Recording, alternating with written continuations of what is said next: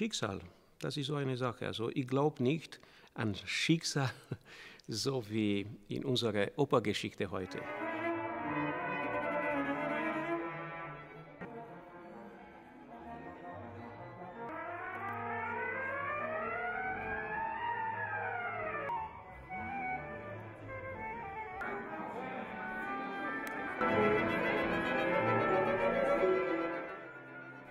Wieso spiele ich Geige? Ja, ich musste auch Klavier spielen, aber es hat mir nicht gefallen. Äh, ich glaube, es gibt auch eine, es gibt die musikalische Begabung, es gibt auch die instrumentale, instrumentalische, wie soll ich sagen, instrumentalische Begabung.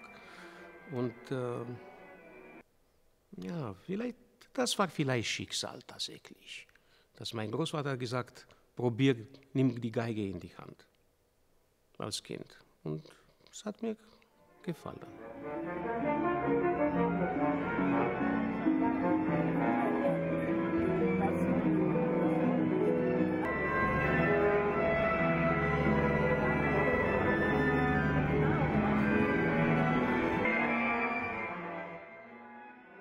Es war ein Auftragswerk von einem Sängerkollegen. Es gab einen italienischen Tenor, der in St. Petersburg sang und der gesagt hat, schreib doch mal ein Stück für St. Petersburg.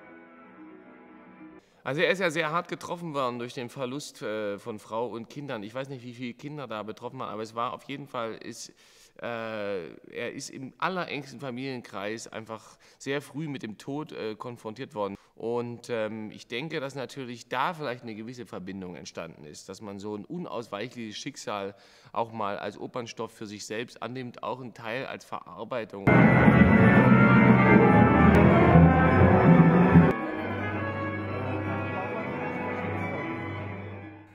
Ich komme ja aus der DDR, aus Ostberlin. Wir hatten ein wenig anderes Schulsystem. Das heißt, man hat als Kleinkind schon angefangen, in Musikschulen äh, unterrichtet zu werden. Dann gab es Spezialschulen, automatisch daran schließend die Hochschulen. Und so war das eigentlich ein ganz kontinuierlicher Weg, bis ich dann letztendlich hier in Stuttgart gelandet bin.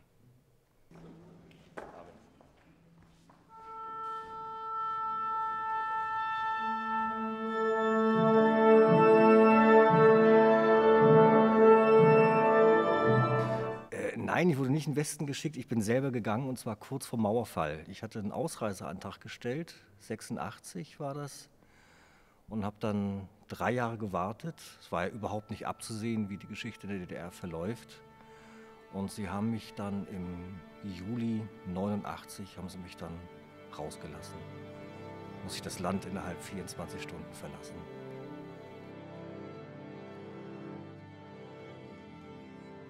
Eine Sache, bevor wir das Stück ein bisschen auseinandernehmen, würde ich gern loswerden. Erste und zweite Geigen 1, 2, 3, 4, 5, 6 vor O.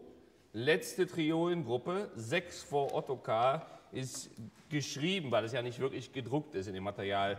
Vermutlich dis, cis, cis. Ja? Sollte aber dis, äh, cis, h sein. So wie 1, 2, 3, 4, 5, 6 nach Nathalie. Also beide Stellen gleich. 6 nach N entspricht 6 vor O. Beide Male ist die vierte Triolengruppe Dis, Cis, H.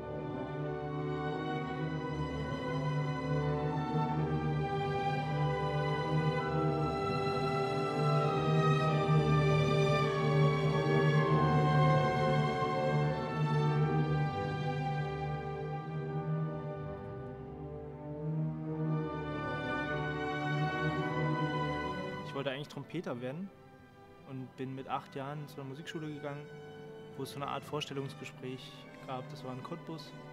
Das Ganze war noch nach dem DDR-System aufgebaut, dass nicht jeder, der ähm, an die Musikschule wollte und ein Instrument lernen wollte, ähm, wirklich auch einen Platz gekriegt hat. Also gab es ein Vorstellungsgespräch bei dem Trompetenlehrer, der aufgrund der Zahnlücke zwischen meinen vorderen und oberen Schneidezähnen äh, gesagt hat, es wäre unmöglich, dass ich Trompete lerne, weil mir irgendwie das nötige Gebiss fehlt.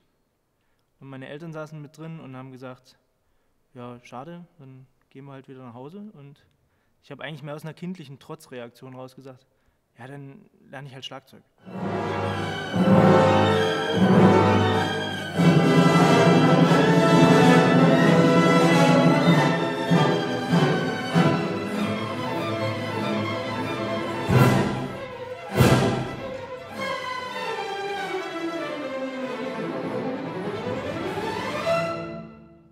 Fühlt sich auf jeder Geige wohl, mit der Zeit. Geige ist wichtig, aber nicht das Allerwichtigste, sagen wir mal so. Die Geige ist nicht alles freilich, ist schon ein wesentlicher Bestandteil, aber nicht das äh, Wichtigste überhaupt. Es gibt schlechte Geiger mit tollen Geigen und sehr gute Geiger mit schlechten Geigen. so ist es halt. Drei, vier, eins. Und ah. Papa.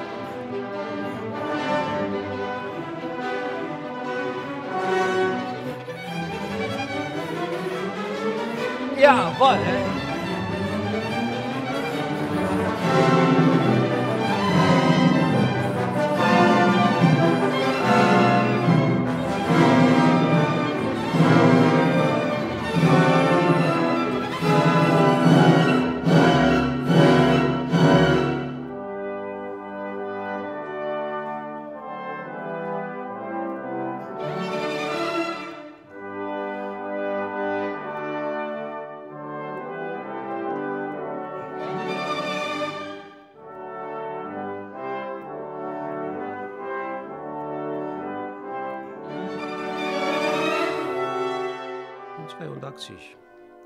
Deutschland. Ich komme aus Siebenbürgen, aus Rumänien. Ich wusste, ich komme nach Deutschland, da muss ich Probespiele machen. Also ich muss beweisen, was ich kann. Also so, sage ich, psychologisch war ich schon vorbereitet. Das ist eine ganz andere Mentalität, es geht hart auf hart, also es, es gibt kein Pardon. Es, überall die Leute sind höflich, aber sehr direkt.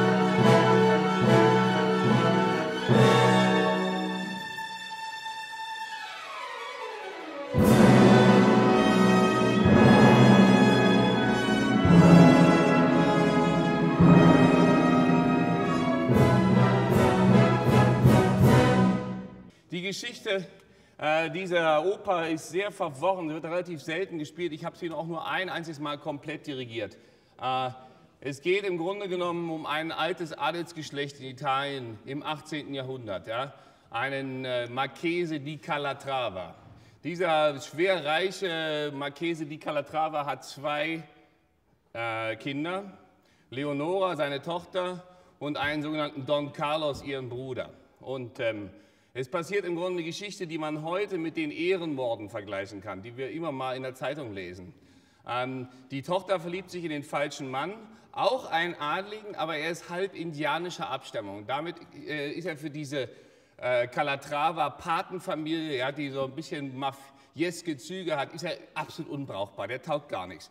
Die beiden sind aber schon sehr eng, richtig zusammen, heimlich und wollen auch heiraten und wollen fliehen. In dem Augenblick, als sie das tun, wie es in der Oper so ist, werden sie entdeckt vom Vater, der die beiden zur Rede stellt.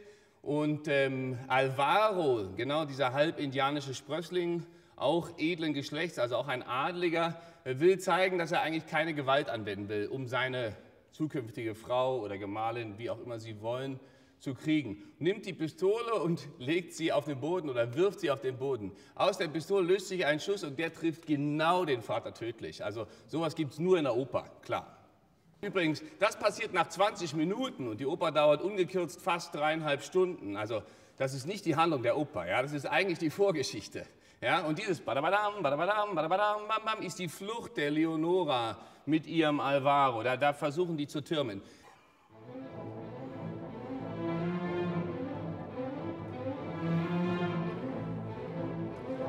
Jetzt weg, jetzt weg. Melodiöser. Voilà, voilà.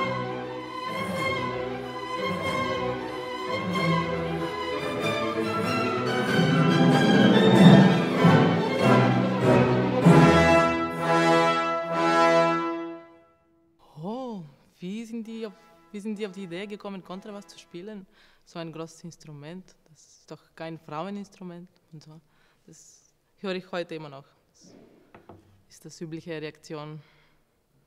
Damals in der Musikschule in Plovdiv in Bulgarien, wo ich studieren wollte, gab es keine, nicht so viele freie Plätze. Für Klavier sowieso nicht, für Geige nicht. Und es gab bloß für Kontrabass, Schlagzeug und Oboe. Und dann irgendwie, ich weiß nicht, so einfach so habe ich mich entschieden für Kontrabass.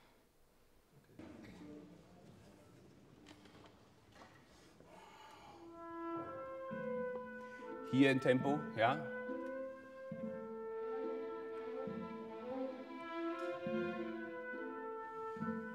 Hier. Ja. Dir ein bisschen Zeit geben da, ja? Ja. Ja, ein bisschen zuhören auch. Und jetzt weg, jetzt weg. So leise wie es geht, so leise. Neue Strophe. Genau, ja. Äh, Wir waren drei Kinder und alle, alle sollten was spielen und äh, es war mehr mit Widerwillen verbunden am Beginn. Und irgendwann nach Gitarre, Klavier, Flöte und allen möglichen Dingen, so klassisch eigentlich, äh, ist dann das Cello geworden, relativ spät mit zehn erst. Aber eigentlich zufällig, muss man sagen. So. Ja, zufällig in dem Sinne, ich habe das, also zufällig, ich habe das Instrument irgendwann einmal in einem Konzert gesehen und gesagt, okay, ja, das, das würde ich machen. Es war aber jetzt eigentlich keine Liebe auf den ersten Blick, sondern es hat sich dann so entwickelt und äh, ja, mit der Zeit viel Spaß gemacht. Ja.